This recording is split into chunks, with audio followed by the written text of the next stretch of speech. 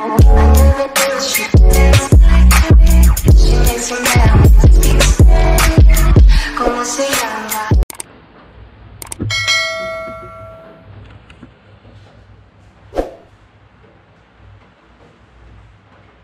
up guys? Welcome to my YouTube channel Manong Lito Station. Mga manong manang Mayroon po tayong gagawin ngayong araw na ito. Tayo po ay magluluto ng sisig Yung maskara ng baboy Kita mo yung maskara ng baboy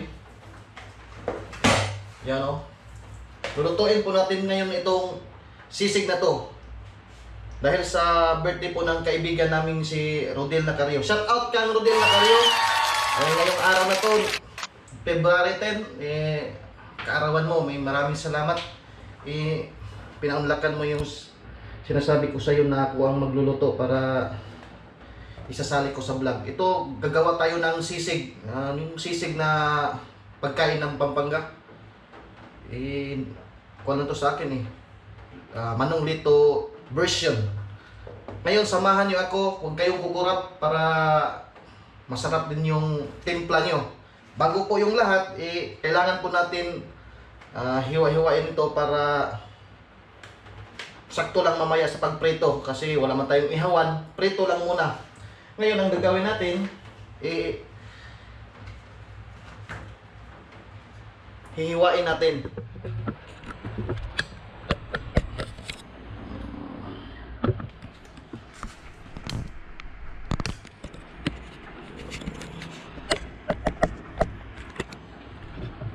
hihiwain natin tong para mamaya sakto na siya sa ay ganun hintay nga para mamaya pag prito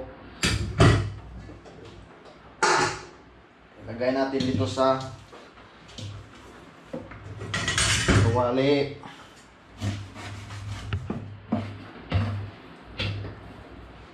marami to kasi kasama namin sa trabaho, marami din sila eh, kaya marami yung lulutuin para hindi mauubusan.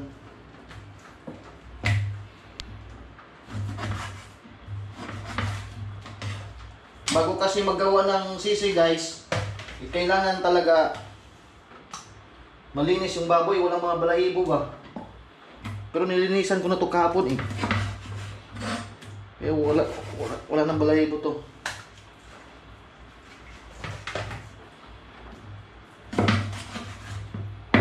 yung mga ginagawa ko sa pagluluto, gayahin nyo lang. Iwalalaman yung mamaya kung ano yung mga ricados na ilalagay ko. Eh, kasi yung original na luto dito sa Pampanga, eh, sabi din sa iba, utak ng baboy. Eh, Wala man tayong utak ng baboy, di utak ng mayonnaise yung gagamitin natin.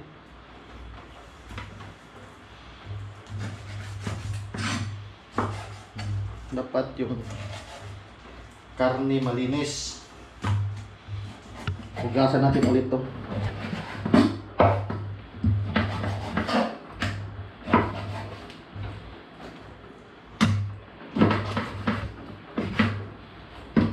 Shout out nga pala sa kasama ko sa trabaho si Jenelen Serrano. Suportahan niyo po yung kanya. Yung TikTok niya para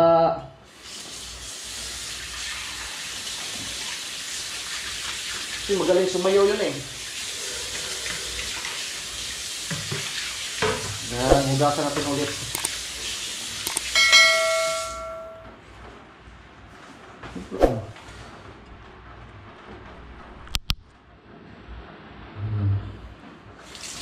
Hugasan natin ulit para matanggal yung mga kung may amoy ba siya pero wala namang wala namang amoy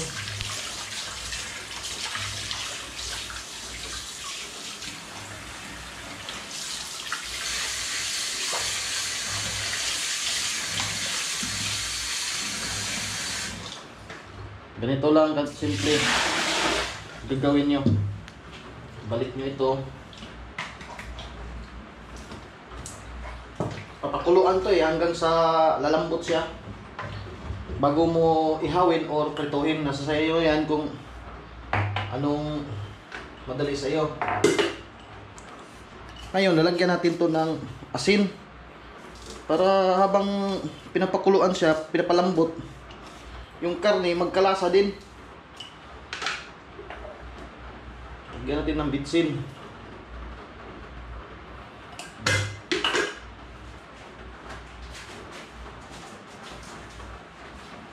Tapos ito, dahon ng laurel. Lagyan natin yan. Dahon ng laurel. Dalawa lang. Para may lasa siya, mabango pa. Mabango pa yung sa mga kinakasama niya. Gunggong! Barinig kita sa mukha eh! Yung aso ko sa gilid, atat na atat na. Lagyan ng konting paminta. Lagyan ng tuyo. Hmm, Kunti lang. Tapos, tubig.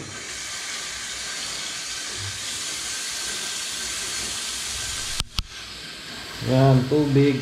Kailangan ng tubig. Paano maglambot yan kung walang tubig?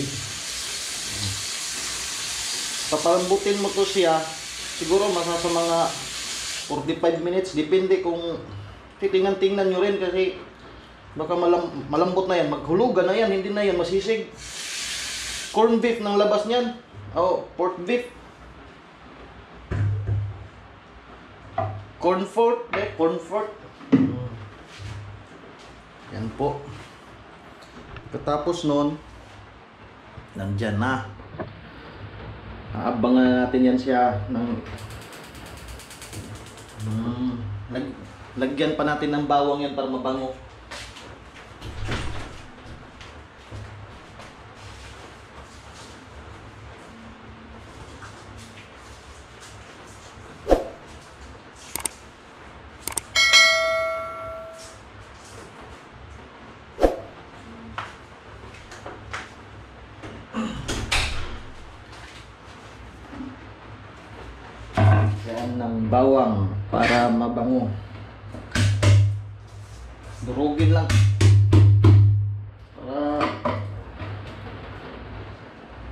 Para mabango talaga. Yun lang yung ilalagay mo. Tapos ganun yung tubig. Takpan. Hintayin ng mga 45 to 1 hour. Para maglambot siya. Saka i-air dry natin. I tatanggalin natin siya. Bangan na natin mamaya yun guys ha. Huwag lang kayong kukurap. One eternity later.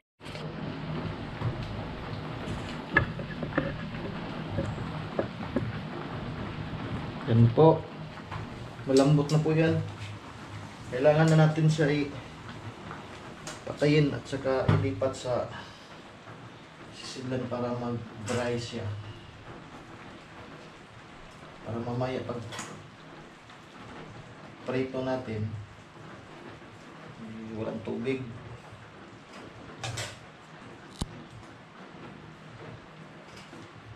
Ilipat natin sa malinis na lalagyan.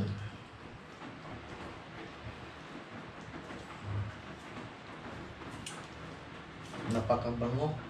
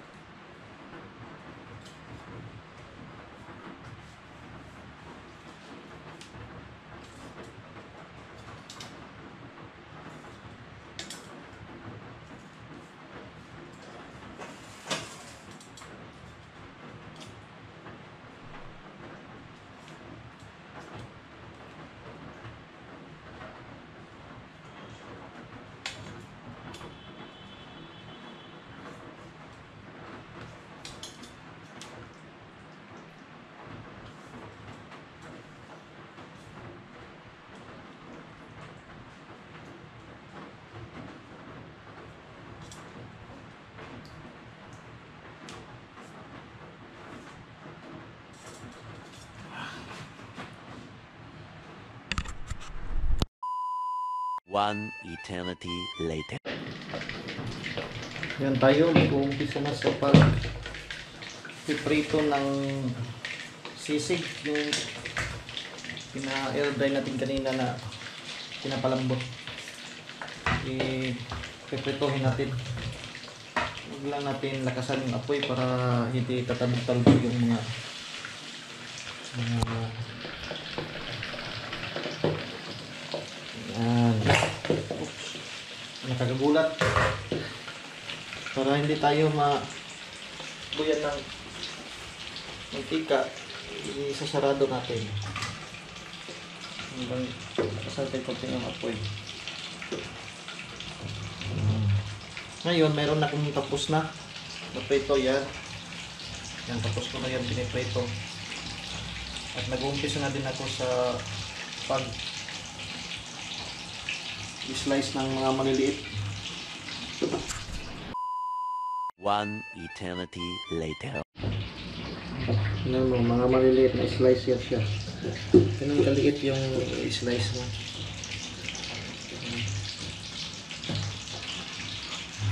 Ito, prepare natin yung mamaya. Kita ko sa inyo kung paano yung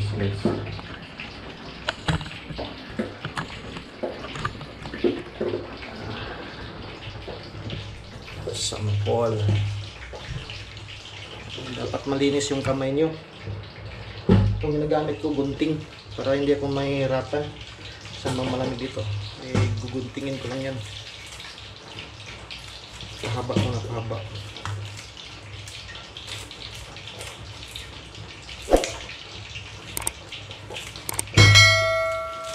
Yan, pagkatapos pahaba, huwain mo na pa.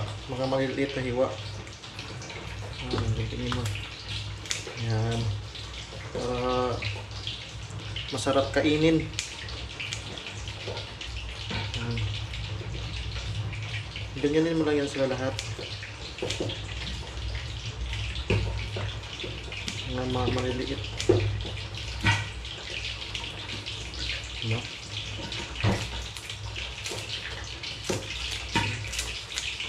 Kailangan ng maliliit yung sila. Crispy na crispy. Ano? Malilit lang nga. Pagtsagaan nyo lang to. Ito ang luto na bising-busy yung kamay mo dito eh. Simula pag umpisa hanggang matapos. Pero masarap naman dito sa katapos. Pag matapos na magluto, ah, sarap kumain.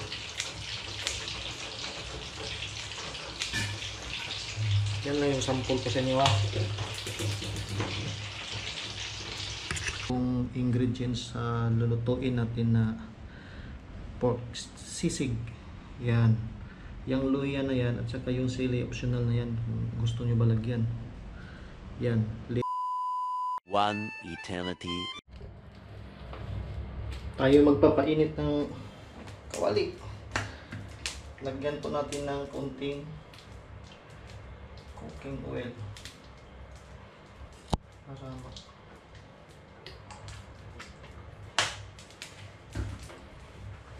cooking oil.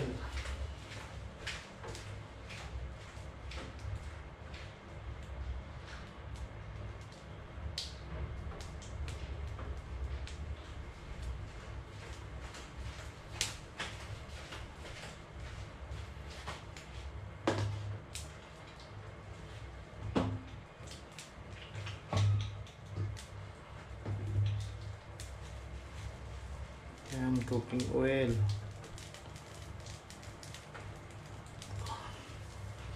Initin muna natin.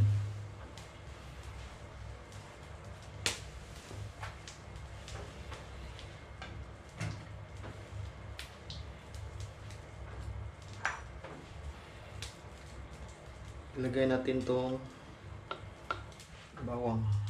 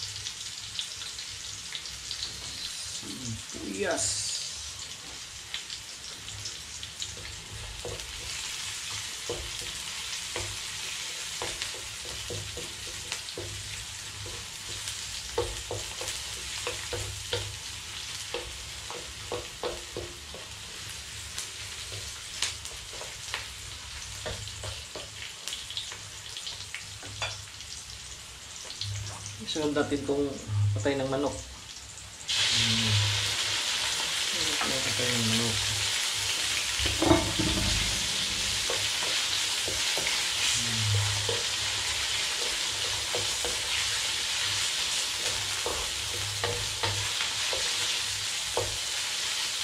Timplahan natin to. Lagyan natin ng sukatin natin para hindi tayo mawala.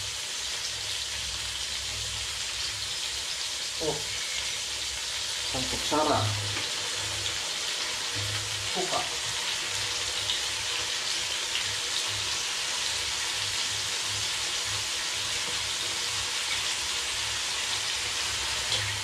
Tatlong kutsarang. Uh.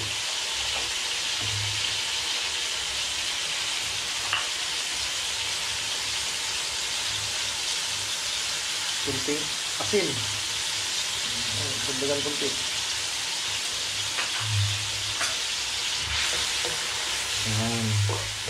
Titigasin natin yun siya.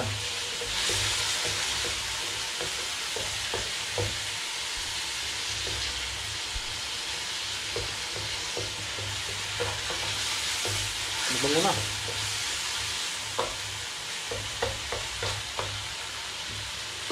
At baka tagal na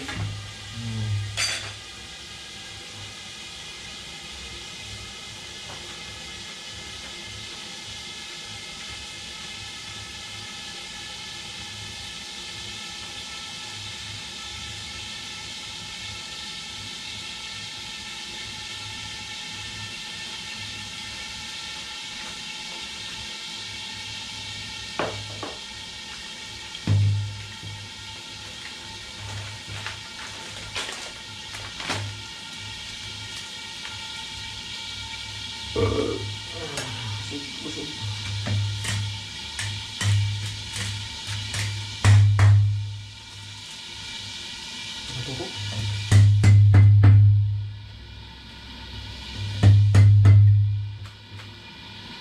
nito.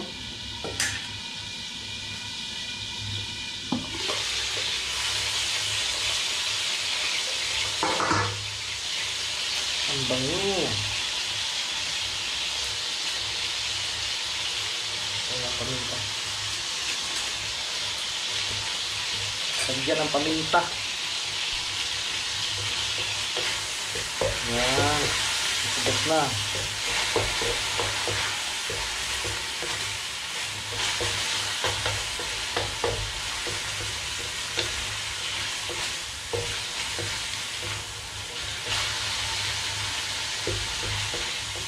Matigas natin yan.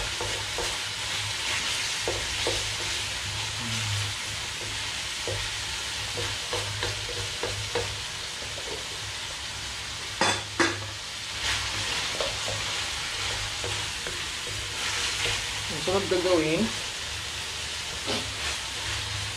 ito dudurugin. Dudurugin natin ito.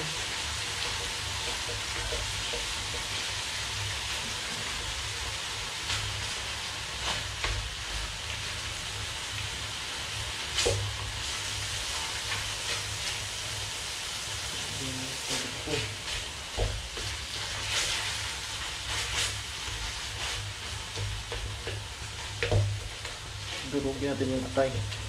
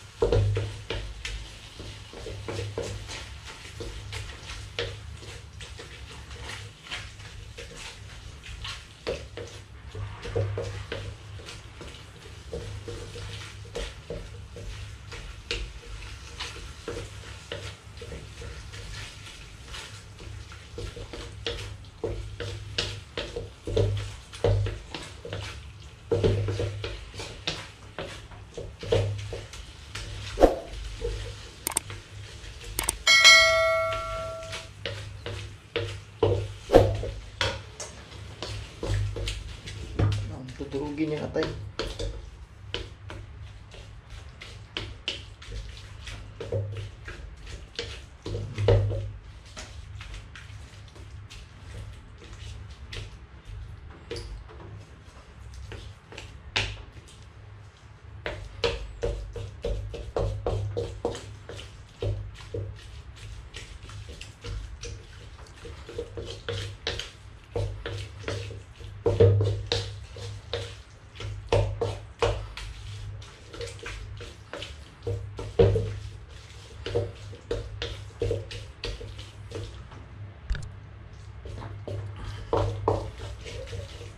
Durog na.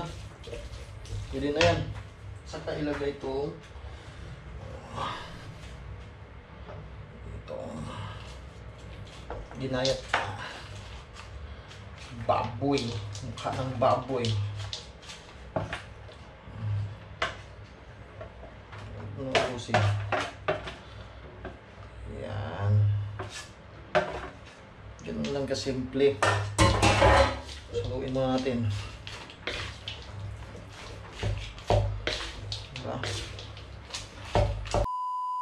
One eternity later.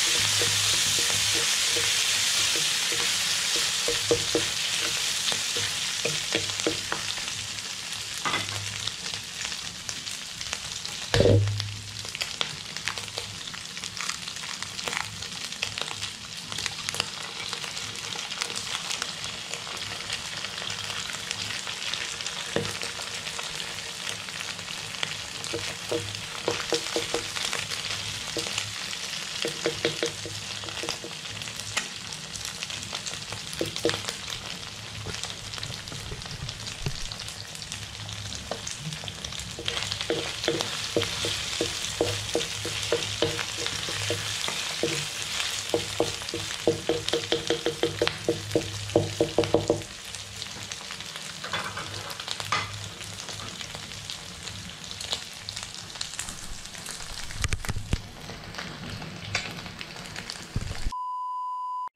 eternity later.